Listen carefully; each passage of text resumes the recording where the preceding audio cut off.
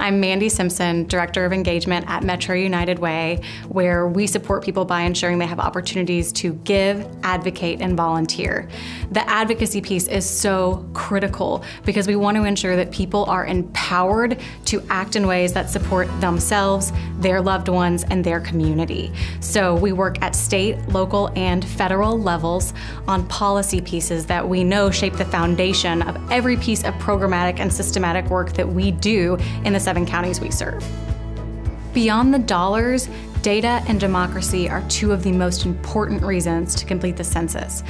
I have a colleague who says that the census determines how quickly an ambulance can get to your home, and it's true because the census help determines where emergency services go, where roads go, where schools go,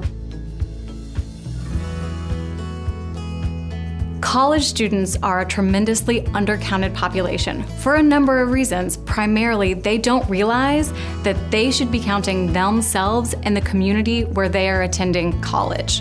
So they rely on their parents, which may be back home somewhere else, to count them. But they are using the resources of the community where they go to school, and that is where they should be counted. Black men are one of the most undercounted populations in our nation.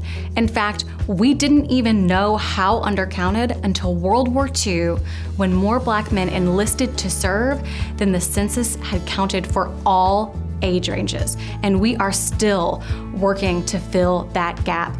This is a critical voice in our community and a powerful one, and we need to make sure that it is heard through the census.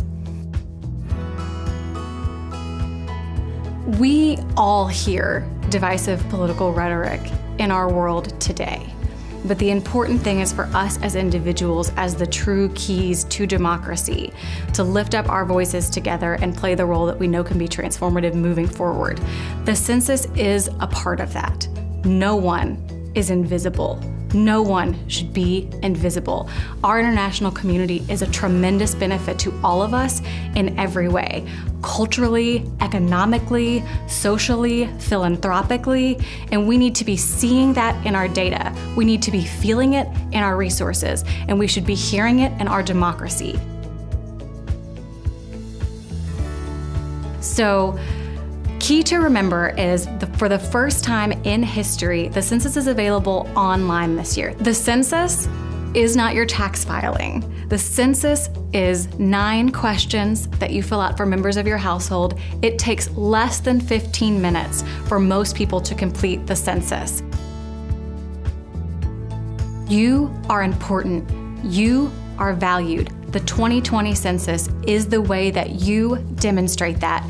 You have that power for yourself, your loved ones, and our entire community when you take 15 minutes to complete the survey.